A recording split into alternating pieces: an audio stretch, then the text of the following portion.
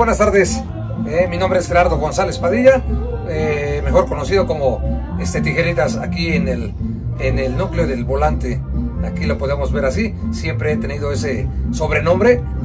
Bueno, mira, te comento también, este, pues mi pasión por los autobuses, pues más bien traigo ese, eh, como decimos aquí en el núcleo, este, pues autobusero, de que traigo dísele en las venas. ¿Por qué? Porque mi padre fue autobusero, mi tío, este autobusero que en paz, este, pues Dios los tenga en su santa gloria, la verdad, a mi padre Jorge González López y mi tío, este, lo que es Manuel Zúñiga Martín, este, pues espero que se encuentren allá con, con Diosito, que pues ya tiene tiempo que se fueron, pero por eso me nace la pasión del volante, de sentir esa sensación, este, me gusta, o sea, eh, no nada más desde que quiera yo manejar, sino que simplemente, este, lo decimos abiertamente, me gusta la pasión de vivir este, las carreteras, las experiencias, este, cuántas veces hemos tocado varias ciudades, eh, los bocadillos, distintos, pues platillos que, que ahora sí que lo está probando uno y no tienen ni idea de tan sabrosos que son la verdad, ahora sí que lo típico, pues todo lo que es del sureste. Pero ahí es donde nace mi pasión de que pues toda la familia ha sido autobusera. Entonces ahí sale mi pasión para que yo también sea autobusero y dedique yo con pasión mi trabajo y lo haga yo con amor. Todavía de que lo hago con amor, eh, pues la verdad me gratifica a mí pues tener las experiencias de los, de los pasajeros que me den las gracias.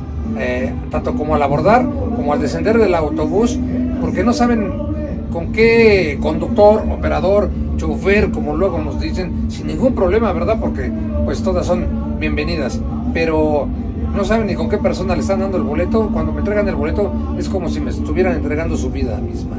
Entonces, pues la verdad, yo para mí es un halago porque pues yo los tengo que llevar con bien a su destino como se merecen y con el confort, ahora sí que a lo máximo, para que queden agradecidos con la empresa donde estoy ahorita laborando, que es ADO Siempre Primera, y pues adelante a seguir continuando, y más aquí con esas unidades, con esas hermosuras, con estas bellezas de los autobuses clásicos que me da la oportunidad ADO de pues andarlas paseando este, por distintos lugares de la, pues de la República donde sean exhibidos. Para ustedes, para el público, ya saben que todos estos eventos son familiares.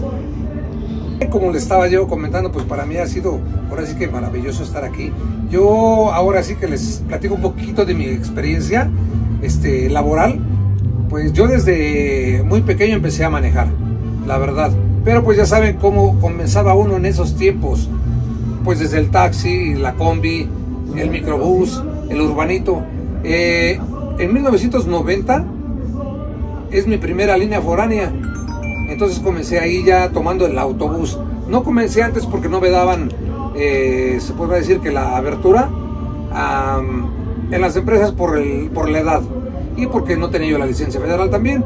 Pero pues ahora sí que se cumplieron esas metas y desde 1990 empiezo a formar mi carrera este, de autobusero, como lo llamamos nosotros. En varias distintas líneas que han dado, pero pues ahorita ya mi permanencia aquí en ADO siempre primera, este, primero Dios, en noviembre de este año del 24, hacemos 20 años en la empresa. Por la gracia de Dios, bonitas experiencias que he tenido en la carretera, eh, pues en el aspecto de, todo aspecto, de climatológicas, que pues en otros lados no se ven, a lo mejor las tolvaneras, la nieve, eh, la lluvia, como, como ha estado en el sureste, eh, es muy, es muy distinto, la verdad, a vivir aquí en esta zona del Estado de México, que ahí tienen su casa, que son bien recibidos. Entonces, son bastantes experiencias que me deja este, ser un conductor de autobús. Si Dios lo permite y estamos todavía por aquí, primeramente Dios, este, Dentro de dos años nos volveremos a hacer otra entrevista, estando aquí con el amigo y pues luego, luego, este, a compartirles un poquito más de las experiencias de día a día. Bien, y continuamos con esto de que, pues yo les comparto también a todas las generaciones nuevas que, que la verdad hagamos con amor, con pasión nuestro trabajo del volante. Es muy hermoso, la verdad es hermoso en todo aspecto. Es peligroso, sí, sí, no es peligroso, pero siempre y cuando también nosotros contemos con pues nuestra normatividad de educación vial. Si nosotros cumplimos, sabemos interpretar, interpretar nuestro señalamiento, siempre nos va a llevar a buenos destinos.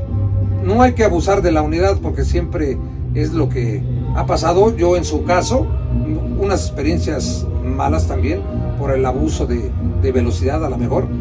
Pero pues todo eso lo hace o lo hice cuando estaba yo más joven. Ahora que es más la madurez, pues va uno reflexionando todo, todas las cosas a lo mejor pues que hice y que no debería yo haber hecho. Pero pues la verdad estamos aquí, gracias a Dios, contándoselas las experiencias y los invito a las nuevas generaciones que si van a tener este, esta pasión, este oficio aquí en el volante, que lo hagan con amor, con cariño y que recordemos que siempre en la casa nos espera nuestra familia y que nosotros estamos para unir familias. Es lo más primordial. Gracias.